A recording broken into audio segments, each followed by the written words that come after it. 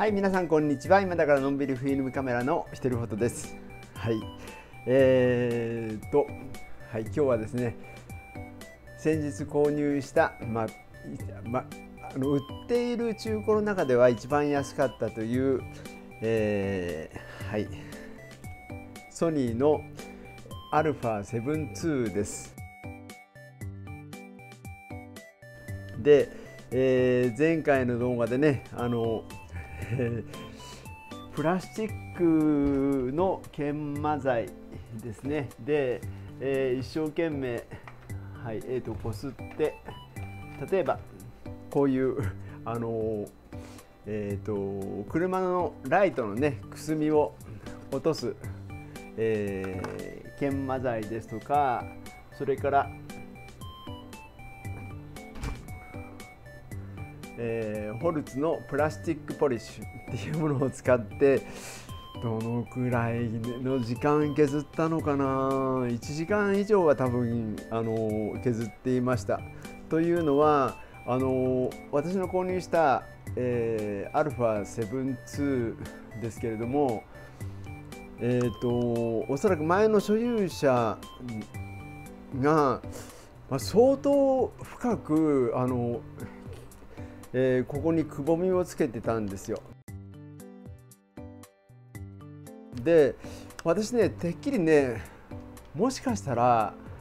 まあ、車体回枚数がね、あのー、10万回超えてたので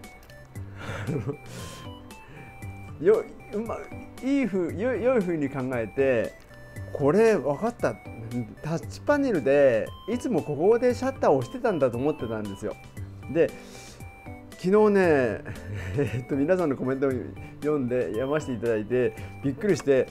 そういえばタッチパネル壊れちゃったかもしれないこすりちゃすぎて壊れちゃったかもしれないと思って今日一生懸命設定しようと思ったらですねどうも α7-2 はタッチパネルじゃなかったみたいです。なのでちょっとほっとしたんですけれども、えーとまあ、できる限りですけれどもえっと平面にしました。で平面にする前にあのガラスのフィルム貼ったんですね。そしたらねもう明らかにあの段差ができてしまって、えー、ここのところにまあエアーっていうのかな？何か、えー、エアーじゃないね。何て言うんだろう。くすみみたいなもの、えーとコーティングの色の違いが明らかに出てしまってどうもねすっきりしなかったんですよ。なのであの昨晩ですけれども1時間以上かな ちょっと無謀だと思われるかもしれないですし、まあ、皆さんのコメントを読ませていただいてもそれやっていいのかなって後でちょっとねすごく反省しながらね あの今日一日過ごしていたんですけれども、えー、今日はねその続きのお話をします。はい、アルファ、えー、ソニー α7-2 の液晶画面ははい、果たして、えー、フィルムを貼ることによって、まあ、新品同様 まではいかないけれども、あのー、かなり綺麗な状態に戻るのかどうかということですね。で、えー、と一応私もねあのできるだけこのプラスチックの、えーと、ポリッシュを使ったっていう理由はあのーやっぱりあの粒子が細かくて、まあ、できるだけ、まあ、鏡面仕上げにするようにということでこれを使いました。でまあ後でねリジン液をえー、っとちょっと何て言うかなすり込んでみてあの細かな凹凸が、まあ、少しでもねあのリジン液であのその後拭き取ったんで全部取れちゃったような気がするんですけれども、まあ、気休気休めみたいなことをいろいろやってきました。で、えー、今日は、ね、その続きの動画を作りたいと思いました。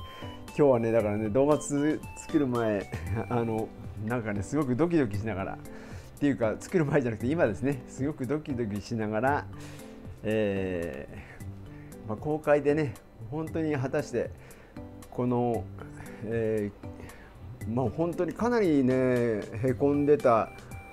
どうしたらこんなにへこむんだろうこのねこの硬いコードのコードのあるものがなぜこの真ん中だけねこんなにねあの削れてるのかってちょっと不思議ですね。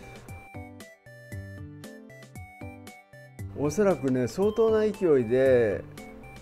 うんと真ん中だけ何かで研磨したんだと思うんですよ。なので、えー、私は昨日やったのは真ん中以外のところなので、まあ、ほぼ全面を、えーと、研磨するっていうことを一生懸命やったんですね。なのですごく手間かかりましたしすごく時間かかりました。えーまあ、その時間もねあの皆さんの コメントに、え返信したように、まあ、それもね楽しい時間ではあったんですけれども果たしてこれでね本当にあの、えー、通常ねこういう細かな傷って、えー、ある程度フィルムを貼るとうんとまあ目立たなくなるんですよね。ほぼ仕様に問題ないくらいに目立たなくなるというか場合によってはねあの新品のようにあの綺麗になるんですね。なので今日は本当にね綺麗になるかどうかやってみたいと思います。今こんな状態です。これでも結構あのえーと、研磨する前よりはかなり綺麗にはなってると思います。はい。えー、このまま使っても使えないこともないしもちろんあのまあこのこの程度のこういうこういう傷のカメラ中古カメラって結構あの流通してるんですよねだけどやっぱり ジャンカーなんで、えー、もっと自分らしく何か直したいなと思っていろいろ、はいえー、やってみる動画を今日は作ろうと思います。ということで、えー、っと昨日かな。あのもともとガラスフィルム貼ったんですけど剥がす時に私ちょっとあの力の入れ入れ加減を間違えてガラスフィルムってパリンって割れちゃうんですよね。なので、えー、またはい購入しました。えーと、これ2枚組であのポイントなんかを使って880円の、えーはい、ガラスフィルムです。はい、なんていうの？キロキロコキロコキロキロコなんなんていうんですかね。あのソニーのこういう、えー、液晶フィルムです。このメーカーのこれメイドインチャイナって書いてますけどこのメーカーの、えーと、ガラスフィルムはね結構使えます。あの同じフィルム結構使えます。なぜかって言ったら2枚海なのですごくお得感があるんですね。ということで今までも使ってます、えー、ここに書いてありますけど安心と信頼の日本メーカー製ガラスを採用していると書いてありますね。でなおかつ液晶クリーナーとほこり除去シート付き、まあ、なかなかあの親切なあ書き方をしてあります。これ前にもね、えーと、なんペンタックスの、えー、カメラにも使いましたし、えー、実績はあります。結構ね厚みのあるあのガラスフィルムですね。おそらくソニーのこのアルファシリーズは共通してるのかな？あの液晶がね。なのかもわかんないですね。ということでちょっと開封をしようと思うはい。えということで、はい、中身はねこんな感じで入ってるんですね。であの拭き取りシートとその前にあのえー、ウェットウェットシートが入っていてでえーと、このウェットシートで拭いてそれからこれがあの、えーと、ほこり取りのシールですね。これでほこりを取ってで最後にガラスフィルムこれ2枚入ってます。これを貼るということだと思います。はいということでこれからね実際にやってみますね。果たしてどんな結果になるかね。あのまあ、自分で使うものなのでねあのいいんですけど決してあの人様にお勧めできるようなことは今回していないと思います。はい、なのでちょちょっとねこれからえっ、ー、と慎重にほこりがほこりがね何ほほこりを何しろ嫌うのでほこりがつかないような、えー、環境を整えてシートの、えー、貼り付け作業をしてみたいと思います。ちょっとあの、えー、場所の準備をしたいと思います。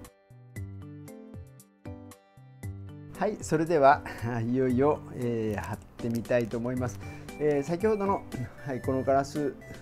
えー、フィルムですけれども、まあ、こういうガラスフィルムですね。で、えー、入っていたのは、えー、フィルムが2つ。もう全部2セットずつですね。これはあのゴミ取りのゴミ取りの、えーと、粘着シートですね、えー、ウェット、えー、ウェットウェットティッシュっていうかウェットウェットの、えー、拭き取りですね。それからこういった、えー、クロスですね。が入っていました。はい。まずねちょっと一応確認をしなきゃいけないんですけど、まあ、サイズがねサイズ感をちょっと確認しておかないと、えー、貼った時にねよくあの画面よりちょっと小さめのものとかあるじゃないですか。なので一応ちょっと合わせてみますね。で合わせてみると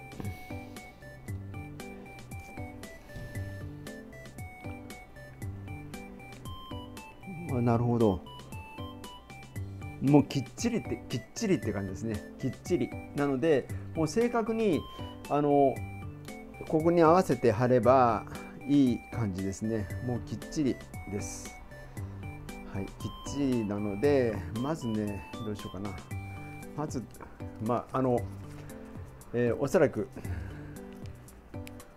おすすめ通りまずウェットシートでちょっと表面をきれいにしますかね。ウェットシートで表面をきれいにします。もうかなりねあの実はだいぶ作業の前にきれいにはしてあるんですけどまあ多分手本通りで言うとこれが先なのかな。まあこんな感じですね。きれいになりました。で次にこれはこれこれじゃねあの貼れないのでこのシートでこれ拭き取るってことなのかな。それともこれは最後に最後に一番最後にあの貼った後きれいにするのか分かんないけどとりあえずまっさらの状態で、えー、きれいに拭きます。でこの時でもねあの、えー、空中にね例えばほこりとか舞っててポツンと押したりすることもやっぱりありますよね。なのでっぱり細心の注意を払ってきれいに拭き取りをします。しました。であとはね一応念のためにもう一度エアーデブローをしてみます。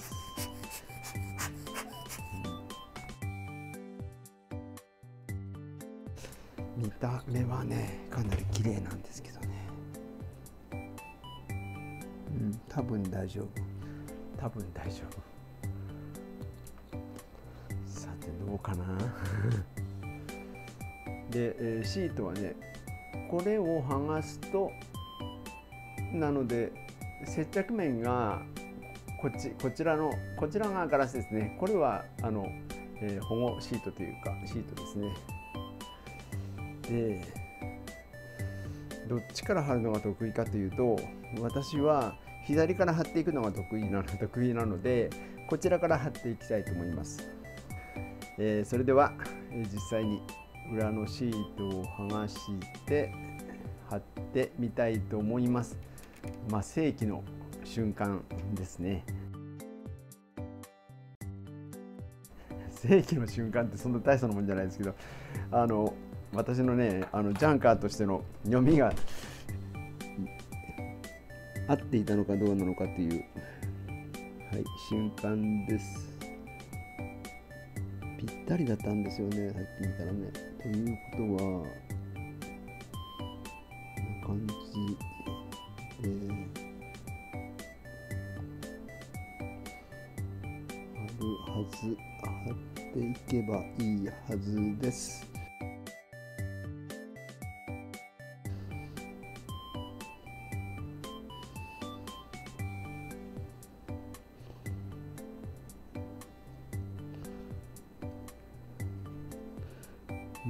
まあ、ガラスのねコードがねコードっていうか厚みがかなりあるので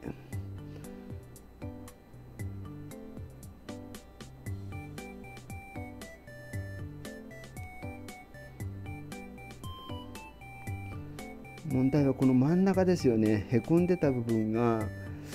果たして貼った後どうなるかですね。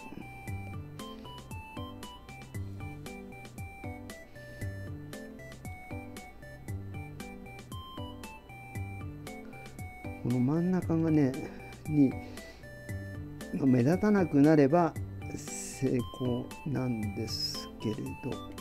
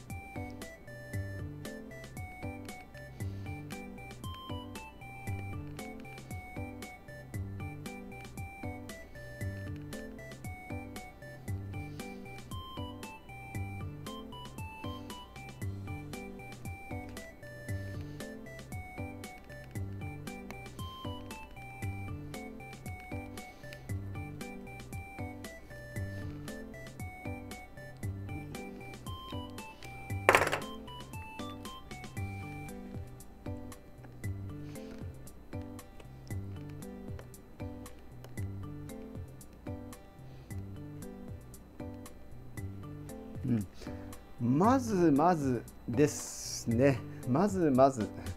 まずまず、えー、綺麗になりました。けれどえっ、ともうもうちょっと一工夫してみようかなと思います。これねリジン液なんですよ。でなぜかって言ったらねちょっとねやっぱりまだ段差が若干残ってたんですね。なので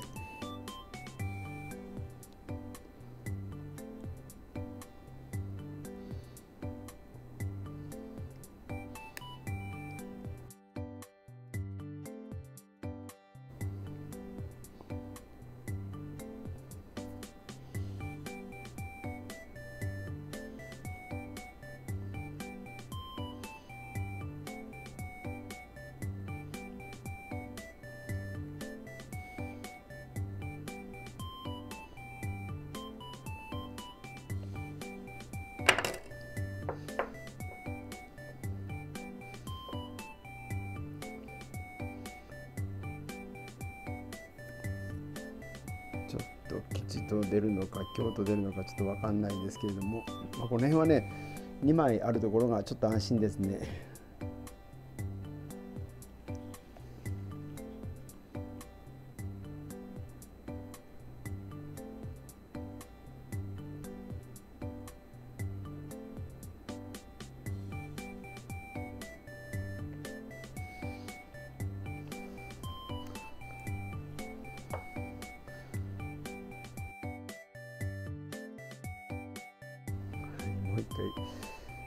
再挑戦です。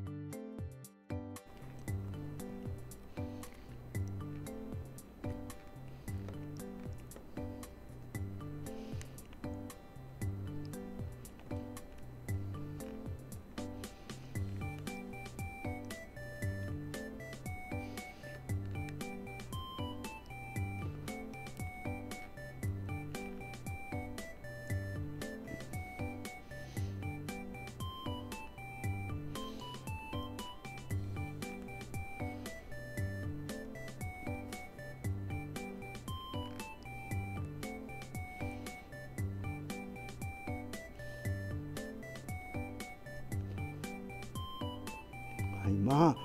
こんなもんでしょう。上出来でしょうか。もうこれ以上ねあの逆にちょっと構いすぎてしまうと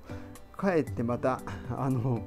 大変な事態が起こる可能性もあるのでちょっとこの辺にしてきますね。はい。えー、今何をやったかというとちょっとエアがあの目立っていたので、えー、っと理人液っていうのは何かというと手芸用のあのなんていうのかな、えー、紫外線で硬化するなんていう接着剤みたいなものがあるんですね。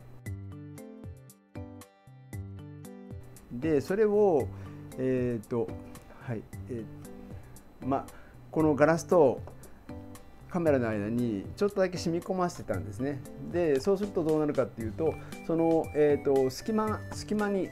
ちょうどそれが入り込むわけですね。で、えー、まあ、こんな感じになりました。当初よりはそうですね数倍数十倍？あの綺麗になりました。あのおそらく撮影には全く問題なくて、えー、まあ、違和感がない状態にまではなりました。まあ、完璧かどうかって言ったら完璧ではもちろん完璧にはならないですけれどもあの、まあ、私の想定したくらいの出来にはなったんじゃないのかな。皆さんが皆さんどどこまで期待されてたかちょっと分かんないですけどもこんな感じです。こういう感じですね。なので、えー、っと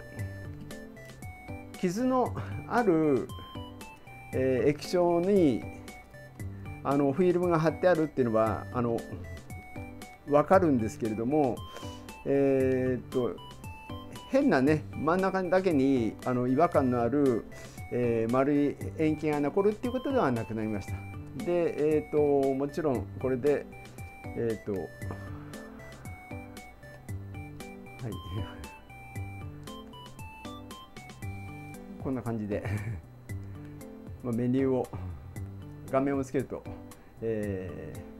ーまあ、ほぼほぼですけれども目立たなくなりました。まあ、完璧ではないけど上出来かなっていう感じですね。あのやった甲斐はあったかなかったかったら圧倒的に、えー、昨日1時間以上磨いたえー、価値はあったと思います。はい、なので、えー、どうだろう。ジャンカーとしての出来具合は。うーん80点はいくかな。ギリギリですね。上出来なのかも分かんない。えー、ということで今日はねあのマウントアダプターで、えーと、リケノンのレンズをつけてみたいと思います、はい、はい、こんな感じですね、えー、オートリケノ、ー、55mmF1.8 というレンズをつけました、はい、液晶こんな感じですね。はい。えー、なのでちょっとと撮ってみますかね。えー、っと。はい。ということで、えー、結果的にねこんな感じになりました。さっきと比べてどうですか？あの、えー、私自身の映り方がもう全然違うと思わないですかね。でえっ、とこれこれ切ってもこんな感じです。もうさっきのあの最初とは全然違いますよね。ということでうんそうだな。点数でいうと、まあ、もうちょっとできれば、えー、っとまあ、リジン液をねこの辺りからにから入れておけばもっと綺麗になったかもしれないですけどこれね往々にしてあるんですけどジャンカーあるあるなんですけどもっと良くしようもっと良くしようと思ってやるたびに、えーと最悪の事態を招くことがあるので今回はもうここまでにします。もうこれで大満足 これで大満足です、えー、もう過去にねもうちょっともうちょっとって欲張ってやりすぎて結局台無しにしてしまったこともあるので、まあ、これでこれでまあ、えー、満足かな。電源をつけるともう全く分かんないじゃないかというですね、はい、せっかくなんでちょっと撮ってみますかね。えっ、ー、とメニューで焦点距離がね多分ね今まで 35mm のレンズつけてたのでえっ、ー、とデブレ補正をね、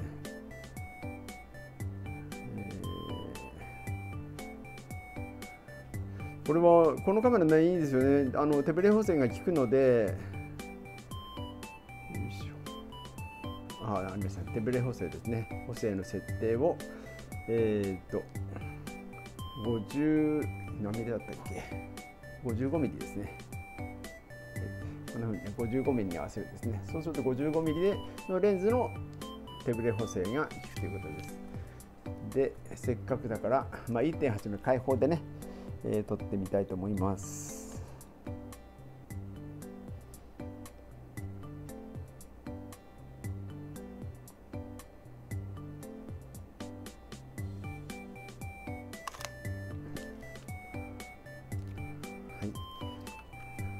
こんな感じ。これは今日撮ったあれじゃない。ですかこんな感じですね。はい。えー、綺麗になりました。うん。まあやった甲斐はありましたねあのやらないよりは絶対やった方が良かったですただやり方が、えー、ちょっとあの疑問符がねあの皆さんからのコメントでもあったように私自身もねこれやっていいのかなこんなことしてあの、まあ今、今の状態になるかどうかちょっと不安だったんですよ。もしかしたらもう傷だらけでもう撮影あのもうフィルム貼ってもね元に戻らないんじゃないかってちょっとあの恐れてたんですけどそういう結果にはならなかったです。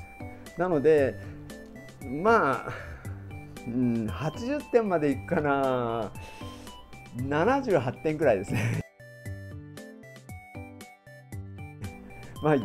9大点僕としては9大点ギリギリの感じかな。っていう出来でしたね今日はね、はい、ちょっともう一枚取ってみようかな。まあいろいろねあの試してみ見るんですけれども。これちょうどねあの、えー、今頭の上にねこれ絵文かきが 絵文かき絵文かきって言います。あのハンガーですね。ハンガー。ハンガーが吊るしてあるありますのでちょっと撮ってみました。こんな感じですね。はい。まあ上出来じゃないですかね。上出来だと思います。はい。えー、ということではいえー、っと本当にねあの最初から見てる方あいらっしゃると思いますけどまずここのねえー、と SD カードのカバーがもうない状態だったですよね。でここを、えーと、革で作って、えー、張り替えました。で、まあ、あとは、まあ、細部にわたってねあの綺麗に、えーまあ、今のカメラの状態としては一番いい状態に、え、磨き上げましたこんな感じですね。はいえー、うん。なかなか かっこよくなったと思います。はい、えー、全体的かあのあの当初カメラを買った時の状態が私の、うん、感じでは65点くらいの感じだったんですけどあのカメラ全体としては私が使うとカメラとしてはもう、えーと85点以上。えー、のあの仕上がりになったと思います。はい、これからもねこんなことをいろいろ繰り返していきたいと思います。ですのでぜひねあの皆さんチャンネル登録をして、えー、ご覧いただければと思います。はい、もう上出来ですね。良かったです。はい、最後までご覧いただきましてありがとうございました。さよなら。